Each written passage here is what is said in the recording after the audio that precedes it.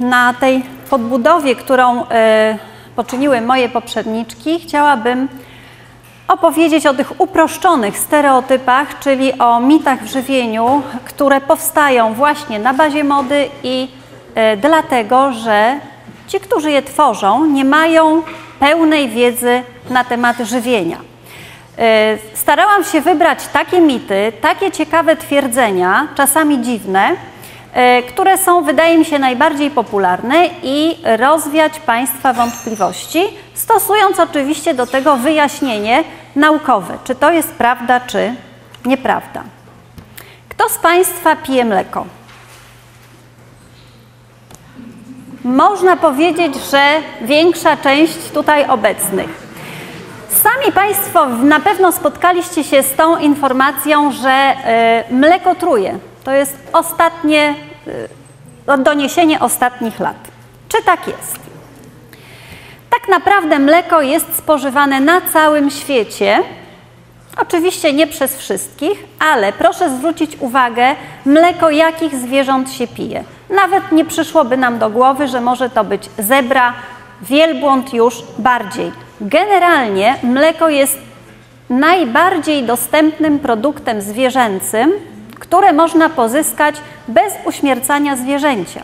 A więc wszędzie tam, gdzie jest niedobór pożywienia pochodzenia zwierzęcego, mleko jest podstawowym źródłem takiego białka.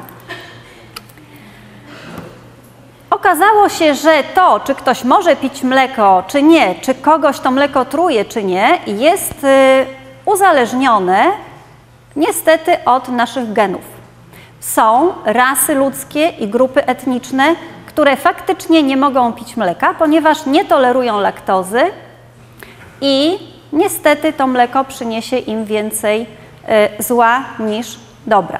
Proszę zwrócić uwagę, że tak naprawdę osób, które mogą pić mleko na całym świecie jest około 30, około tak, 60 chyba procent. Nietolerancję laktozy wykazuje bardzo mała część wśród populacji europejskiej, czyli cała Europa Środkowa, e, Północna ma bardzo dobre przystosowanie do e, trawienia laktozy. Niektóre plemiona wędrowne w Afryce i w y, Indiach, niestety to jest niewielka grupa ludzi mieszkających w Azji, które mogą pić mleko w prowincjach Pendżab i New Delhi. I tak jak powiedziałam, te ludy wędrowne, dla których mleko może być podstawowym źródłem białka, oczywiście będą je bardzo dobrze tolerować. Proszę zwrócić uwagę teraz, wśród których ras ludzkich i grup etnicznych występuje czasami stuprocentowa nietolerancja laktozy i faktycznie ci ludzie mleka pić nie mogą. I człowiek, który napisał y, książkę o tym yy, niekorzystnym działaniu mleka na nasz organizm, pochodzi właśnie z jednej z tych grup yy, etnicznych. Dalej, cała Ameryka Północna, gdzie powstały mieszanki różnych ras, i ludzie dziedziczą ten gen nietolerancji laktozy. Ameryka Południowa, Latynosi, y, Indianie, y, Inuici, również mleko im nie jest potrzebne, ponieważ też nie mogą go pić. A więc czy mleko truje? Można powiedzieć, zależy kogo. Dla 70 procent populacji na świecie mleko może być źle tolerowane i nie mogą go pić, wręcz nie powinni. Ale tutaj chciałam Państwa pocieszyć, to pozostawię bez komentarza. Również ta część populacji w większości nie może pić alkoholu z tych samych powodów. Natomiast y, mniejsza część mieszkańców świata mleko pić może i jak najbardziej powinna z tego korzystać, dlatego że są to produkty o bardzo dużej wartości odżywczej, szczególnie tutaj w naszej strefie klimatycznej. E, ich e, zalety można powiedzieć, że pretendują mleko i jego przetwory do grupy żywności funkcjonalnej, czyli wykazującej działanie prozdrowotne, czyli dla nas jak najbardziej polecam. Kolejny mit obalony to to, że jaja są bombą cholesterolową. Kto z Państwa nie lubi jajek? Tu znakomita mniejszość w tej chwili. Oczywiście zmieniło, zmieniły się poglądy na temat e, wpływu cholesterolu pożywienia na cholesterol zawarty w naszym organizmie. Nie ma to żadnego związku, a więc produkty zawierające dużo cholesterolu wcale nie podnoszą nam jego poziomu w organizmie. Może to niekorzystnie działać tylko u osób, które jednocześnie mają cukrzycę i miażdżycę naczyń krwionośnych. Jajka też są jedzone na całym świecie, zarówno od ptaków dzikich, bo je łatwo pozyskać, oraz od ptaków hodowlanych. Proszę zwrócić uwagę, że jeżeli chodzi o jaja kurze, to wcale nie zawierają tak dużo cholesterolu. W przypadku przykład do jaj perliczki czy przepiórki. W 100 gramach jaj przepiórczych jest dwa razy więcej cholesterolu niż w jajach kurzych. Także jajka kur są jak najbardziej korzystne. Tak samo rasa kury nie ma większego znaczenia, jeżeli chodzi o zawartość cholesterolu i to wcale nieprawda, że jajka zielononóżek kuropatwianych y, zawierają najmniej cholesterolu. Zawierają praktycznie tyle samo, co jajka innych ras kur. Z tą tylko różnicą, że te jajka można powiedzieć, że pochodzą ze źródła bardziej naturalnego, bo zielononóżki kuropatwiane mogą być y, hodowane tylko i wyłącznie w warunkach naturalnych, nie nadają się do nowoczesnych chowów klatkowych czy też ściółkowych, więc jaja od zielononóżek mają o tyle, y, są o tyle korzystniejsze, że są to kury, y, które były karmione naturalnymi paszami. A więc obalamy mit, że oczywiście jajka jak najbardziej powinny być składnikiem, elementem naszej codziennej diety i właściwie spożywanie, jak na dzisiejszą wiedzę, spożywanie jednego jajka dziennie nie przynosi żadnych niekorzystnych efektów fizjologicznych. Wręcz przeciwnie, e, dostarcza luteiny zapobiegającej e, zmianom starczym w oku na przykład. Herbata z cytryną szkodzi czy nie? E, herbata z cytryną to jest taki polski zwyczaj i ostatnio okazało się, że niestety, ale glin zawarty w herbacie, e, w liściach herbacianych i w saszetce, z których zrobione są torebki herbaciane, może przechodzić do naparu i kumulować się w naszym organizmie, przede wszystkim przyczyniając się do zmian w układzie nerwowym. Po części jest to prawda, jeżeli chodzi o to działanie glinu. E, tutaj nawet przeprowadzono badania, proszę zwrócić uwagę, o ile wzrasta zawartość glinu w herbacie po dodaniu cytryny. E, najbardziej na to narażona była herbata miętowa, której raczej zwyczajowo z cytryną nie pijamy. Natomiast te pozostałe herbaty e, zwiększyły zawartość glinu, ale w nieznaczny sposób. Jeżeli chodzi o glin z herbaty, to on wcale nie stanowi takiego dużego udziału w naszej codziennej diecie. Proszę zwrócić uwagę, że my e, w ciągu dnia e, zjadamy nawet do 10 tysięcy mikrogramów, czyli e, jest to 10 mg glinu z różnymi produktami. W tym mniej więcej wypijamy około 1,5 litra wody, z czego mamy 100 mikrogramów glinu.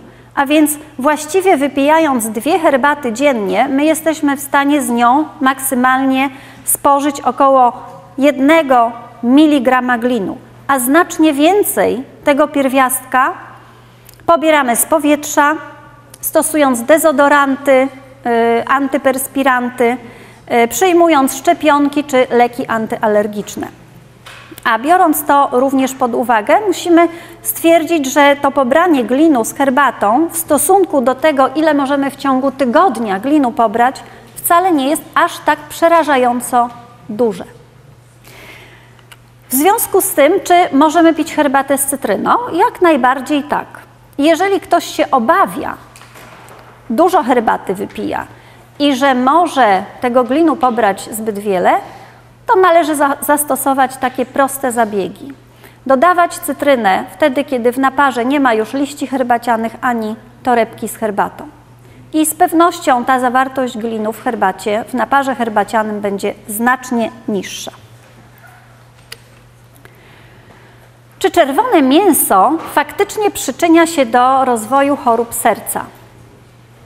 Okazało się też ostatnio, że zależy w jakiej formie jest to mięso. Weźmy pod uwagę, że czerwone mięso, do, do którego zaliczamy praktycznie wszystkie gatunki mięs poza e, kurczakiem i indykiem, e, jest to mięso bardzo wartościowe.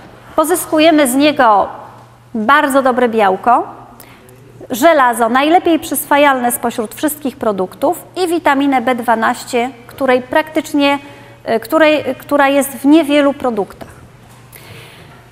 Tak naprawdę i w tym mięsie nie ma nic złego, dopóki nie zaczniemy go w nieodpowiedni sposób obrabiać, wędzić, grillować, smażyć, mocno przypiekać.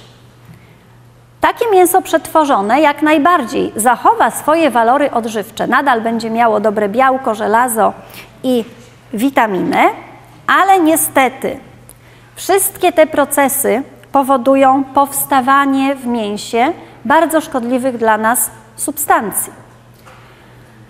Są to najczęściej związki o działaniu rakotwórczym.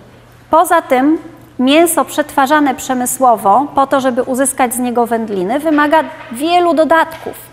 I też te dodatki, im więcej mięsa spożyjemy, tym w większej ilości trafią do naszego organizmu.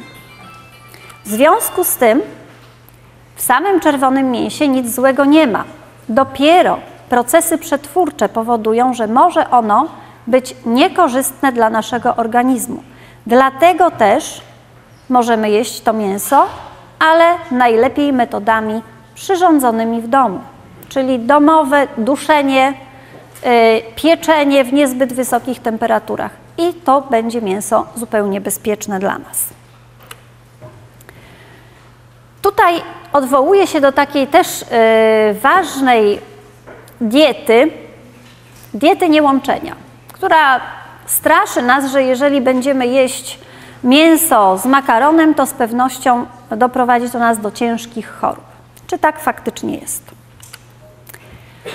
Niekoniecznie, dlatego że nasz organizm jest tak skonstruowany, że enzymy trawienne wydzielane są wszystkie praktycznie jednocześnie bo każdy produkt zawiera i białko, i tłuszcze, i węglowodany. I właściwie to zasadnicze trawienie wszystkiego odbywa się w dwunastnicy.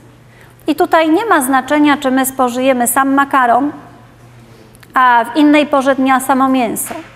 I tak komplet enzymów będzie wytwarzany. Czy łączyć, czy nie? Łączenie produktów ze sobą jest bardzo korzystne, tylko wszystko zależy w jakich proporcjach. Należy zachować taki umiar, o jakim cały czas się mówi i jaki jest przedstawiany w piramidzie żywieniowej. Natomiast z pewnością łączenie różnych produktów w jednym posiłku nie spowoduje u nas zaburzeń trawiennych, a mało tego, jest wiele takich składników, które muszą być yy, jedzone jednocześnie, bo wtedy wspomagają swoje wchłanianie a tym samym polepszają y, działanie na organizm. Takie przykłady korzystnych połączeń. Mleko do mocnej kawy czy mocnej herbaty spowoduje zablokowanie kwasu szczawiowego, który nie wychwytuje już wapnia z innych posiłków i nie powoduje również przy niedoborze wapnia jego wychwytu z kości osłabiania naszych kości. Dalej, surowe warzywa yy, i owoce, które są bogate w witaminę C, dobrze, żeby znalazły się w towarzystwie mięsa, dlatego że poprawiają wchłanianie żelaza.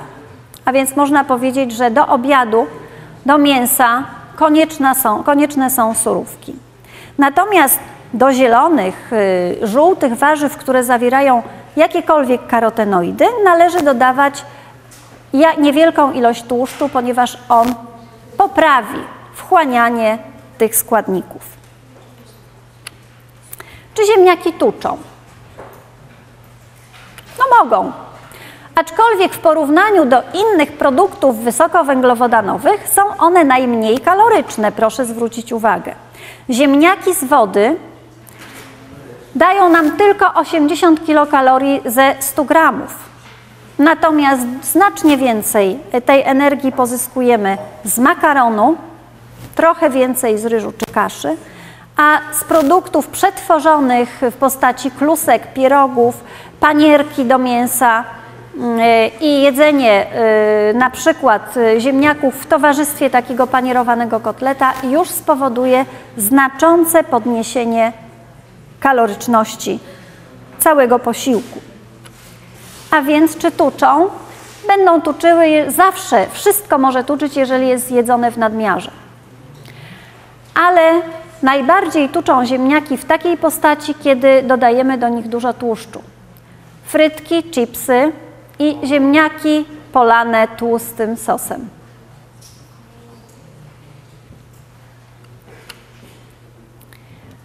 Picie w trakcie posiłku.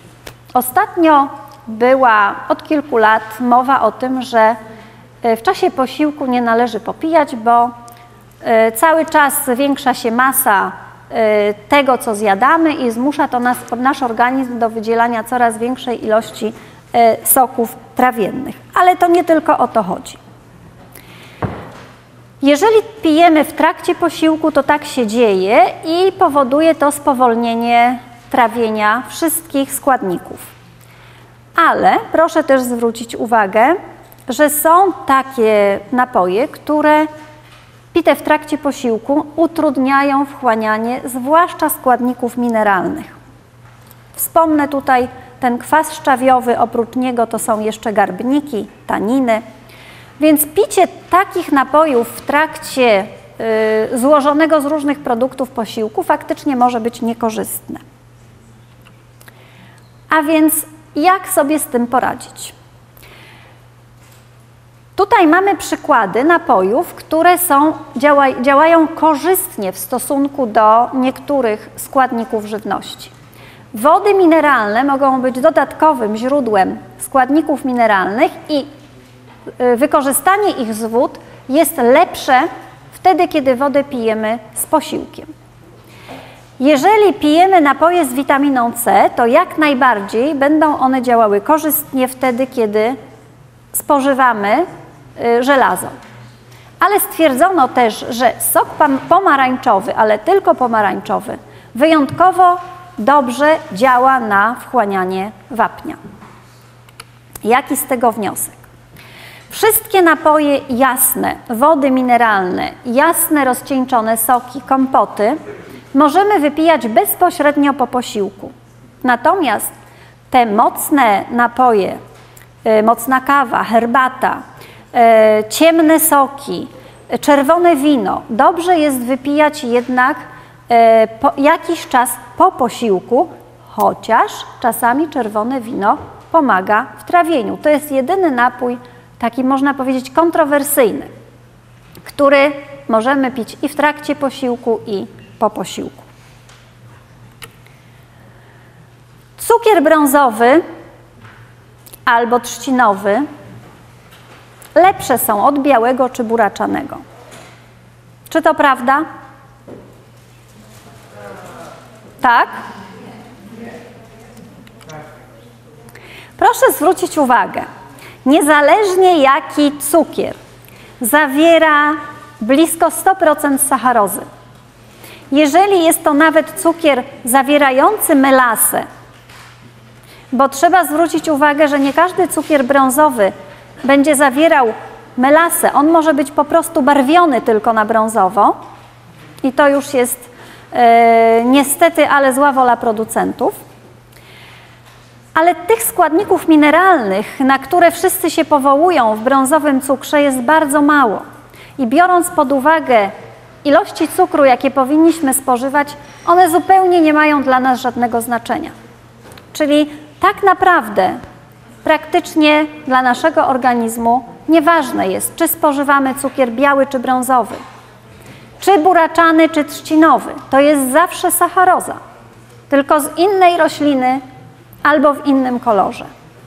Ale przy tej okazji zwracam Państwa uwagę na miód, który w, naszej, w naszym kraju jest bardzo popularny i Oczywiście, biorąc pod uwagę jego kaloryczność, też nie jest y, polecany do spożywania w dużych ilościach, ale lepiej, żeby on zastępował cukier biały czy brązowy, niż powołując się na ten cukier brązowy, jeść go w nieograniczonych ilościach.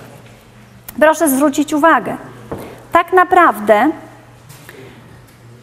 w łyżeczce cukru białego czy brązowego jest niewielka ilość energii, niewielka różnica w ilości energii. Miód będzie zawierał nieco więcej, ale i w miodzie mamy tutaj więcej tych korzystnych substancji. Rozwiązując ten dylemat, y, muszę powiedzieć, że y, różnica pomiędzy tymi cukrami jest przede wszystkim w cenie. I to Państwo na pewno dobrze wiecie. I już do Waszej decyzji pozostawiam, czy wydawać na cukier 3 do 5 zł, czy też kilkanaście, dlatego że on ma inny kolor. To samo, muszę powiedzieć, dotyczy soli. Mówi się, że sól morska jest zdrowsza od kamiennej. Proszę zwrócić uwagę, że z założenia jest to nieprawda nawet, bo sól morska nie zawiera w ogóle dodatkowych składników mineralnych, bo pochodzi ona przez, z odparowania wody, z wody morskiej. I tam praktycznie nic innego nie pozostaje. Sól kuchenna jest otrzymywana z soli kamiennej i jeżeli jest to taka sól e, faktycznie mm, nie ważona, tylko sól kamienna, ona będzie miała trochę więcej składników mineralnych, ale również takich, które się w wodzie nie rozpuszczają, bo jeżeli ktoś tą sól używa, to zawsze zostaje na dnie piasek. I też tutaj trudno jest powiedzieć, że ona jest zdrowsza. Ona może mieć nieco więcej minerałów, ale zupełnie dla nas nieprzyswajalnych. Natomiast i tak ma zawsze przede wszystkim chlorek sodu, który, którego spożywamy za dużo i należy go ograniczać. Więc tutaj w ogóle jest abstrakcją zachęcanie ludzi do jedzenia soli kamiennej, bo jest zdrowsza, czy soli morskiej, bo w cudzysłowie też jest zdrowsza. I to jest ta sama y, sytuacja jak w przypadku cukru. Różnica jest przede wszystkim w cenie. Natomiast absolutnie nie w wartości odżywczej, która może mieć jakiekolwiek znaczenie dla naszego organizmu. To, co bardzo lubimy, wszyscy na pewno, jak zapytam, kto lubi czekoladę, to pewnie prawie wszyscy podniosą rękę. I teraz jeżeli jemy jej dużo, to którą lepiej jeść? Gorzką czy mleczną?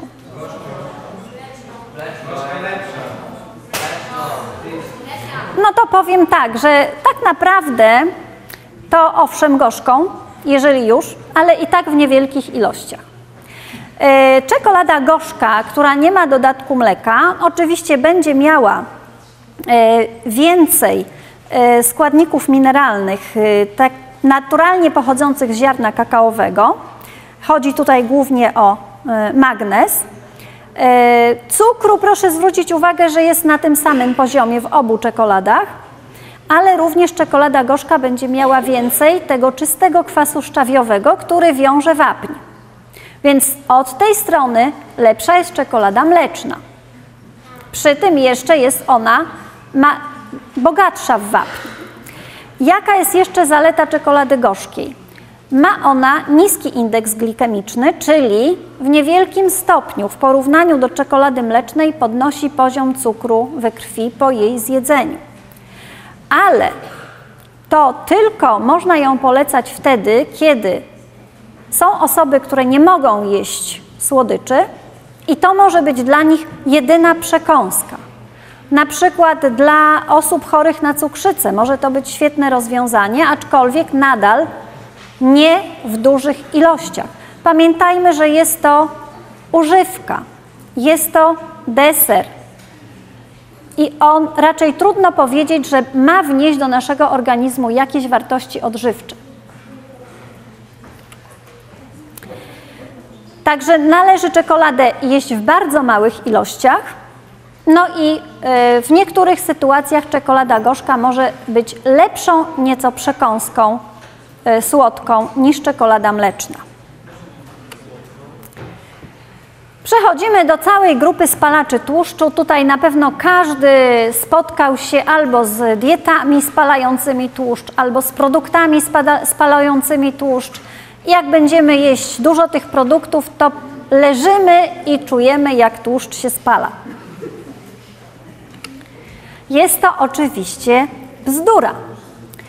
Namawianie do y, jedzenia owoców i warzyw jest dobre, i mogę przyjąć, że jeżeli ktoś powie, że owoce i warzywa przyspieszają spalanie tłuszczu, to dobrze, niech to tak poleca, jeżeli to zachęci ludzi do jedzenia.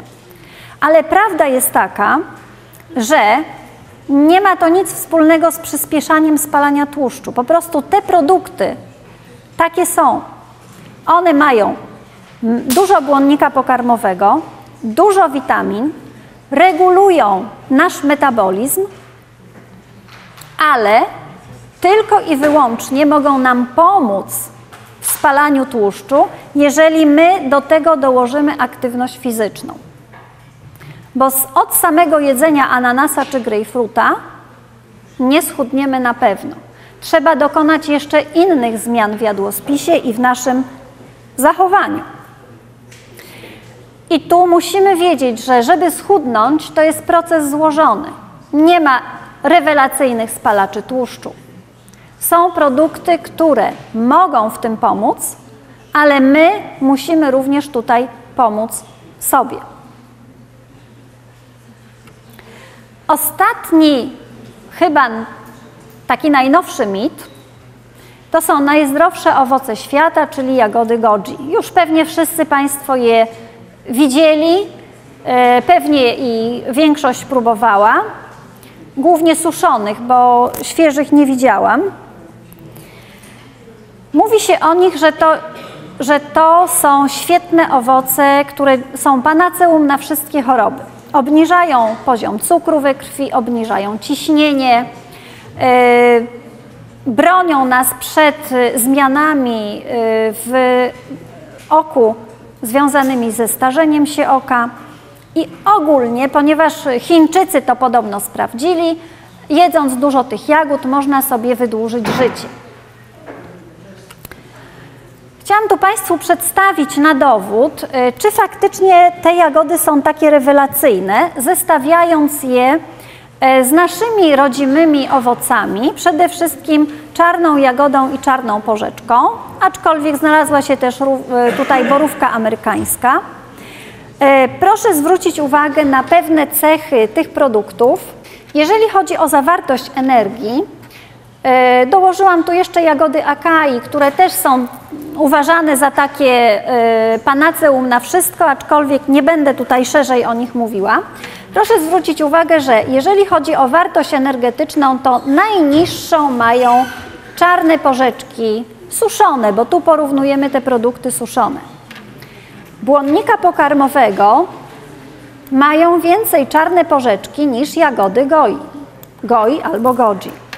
Jedynym ich bogactwem jest beta-karoten, aczkolwiek przygotowując ten materiał nie znalazłyśmy w y, dostępnych źródłach żadnego wiarygodnego źródła, które by potwierdzał skład tych jagód.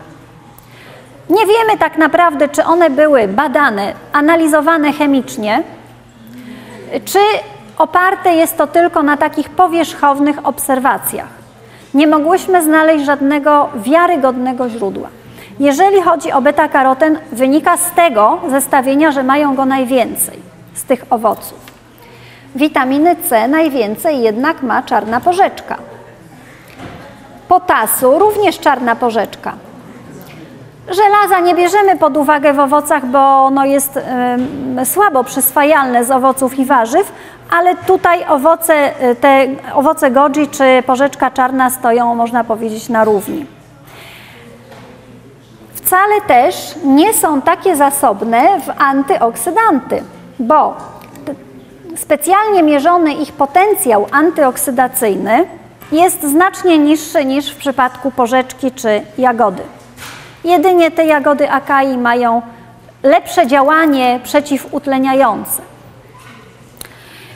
Także czy faktycznie te jagody są takie dobre? Spójrzmy, że wiadomo już, że one mogą również stanowić zagrożenie dla naszego organizmu, jeżeli są jedzone w dużych ilościach. Przede wszystkim wchodzą w interakcję z lekami, z lekami przeciwzakrzepowymi. Więc jeżeli ktoś przyjmuje leki przeciwzakrzepowe, nie powinien jeść tych jagód. Jeżeli ktoś przyjmuje leki obniżające poziom cukru we krwi, nie powinien jeść tych jagód. I również leki obniżające ciśnienie krwi też źle z, z tymi jagodami współdziałają. Także należy bardzo ostrożnie podchodzić do takich nowinek i starać się dowiedzieć o tym jak najwięcej, zanim zrobimy sobie krzywdę. Tak naprawdę te jagody faktycznie mają e, działanie e, przeciwutleniające, ale mają też inne składniki biologicznie aktywne o nieznanym jeszcze działaniu dla nas. Dlatego z ostrożnością należy do nich podchodzić. I jednak e, skupmy się w większości na tym, co jest u nas dostępne, tanie i czasami dużo lepsze niż to, co do nas przychodzi z zagranicy. I niech przykładem będzie to mleko i alkohol. To, co dobre jest dla kogoś, niekoniecznie będzie dla nas. Jeżeli my możemy pić mleko, to nie znaczy, że wszyscy mogą.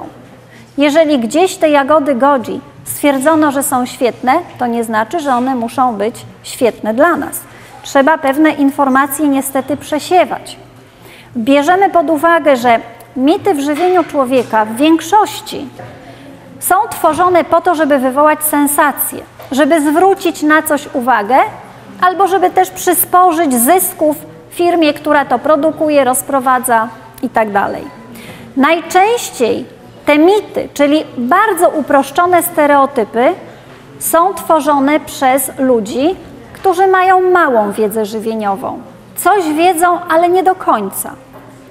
I nadal radzę Państwu podchodzić do wszystkich takich nowinek i twierdzeń z bardzo dużą rezerwą, bo pamiętajmy, że jeżeli ktoś ma skłonność do mitomanii, to niestety, ale jest to skłonność chorobliwa. Bardzo dziękuję za uwagę.